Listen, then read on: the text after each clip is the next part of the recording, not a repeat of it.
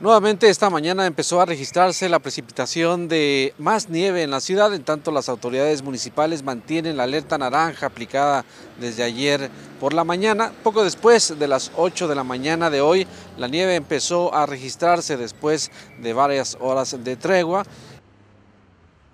La víspera de Nochebuena transcurrió con la presencia de nieve y temperaturas bajo cero, que muchos aprovecharon para divertirse pero autoridades de protección civil y salud exhortaron a la comunidad a prevenir para disfrutar la época en familia.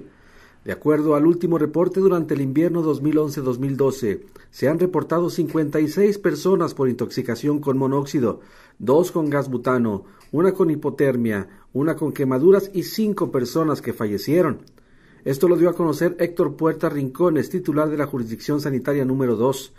De acuerdo a la alerta preventiva de protección civil, las temperaturas congelantes esperan durante los próximos días, por lo que Efren Matamoros, titular de la dirección, alertó a la comunidad a dar un buen uso de los calentones y siempre estar pendiente de la familia, como lo dice el teniente Lara. Entonces, la principal recomendación que se hace es mantener bien ventilado el cuarto donde está el calentón, de preferencia de abrir dos ventanas para que haya circulación del aire. ¿Qué sucede eh, cuando tienen las calefacciones? Es el mismo problema.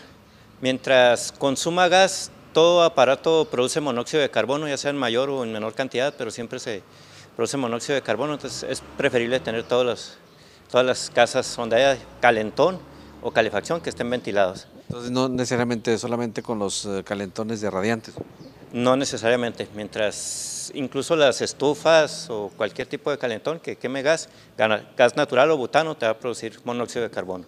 ¿Cuáles son los eh, servicios que más prestan?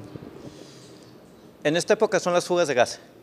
Las fugas de gas sobre todo en los tanques pequeños de 10 kilos que usan los calentones españoles que se sobrecargan. Se da la recomendación de que esos tanques pequeños los carguen a un máximo de 16 litros o aproximadamente 80 pesos. Es su capacidad, no echarles más. Desde la colonia Emiliano Zapata, Jaime Torres y Omar Limón en la información.